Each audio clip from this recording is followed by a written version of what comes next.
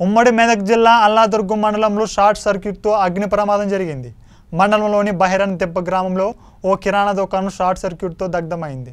గ్రామానికి చెందిన అత్నారం అనిల్ కుమార్ కిరాణా షాపులో అర్ధరాత్రి షార్ట్ సర్క్యూట్తో మంటలు చెలరేగాయి. క్షణాల వ్యవధిలో మంటలు షాప్ మొత్తం వ్యాపించడంతో కిరాణా సామాగ్రి పూర్తిగా దగ్ధమైంది.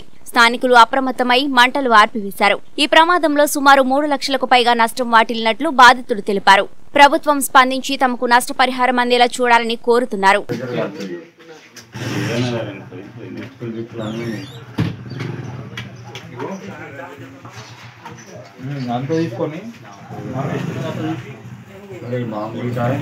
మొత్తం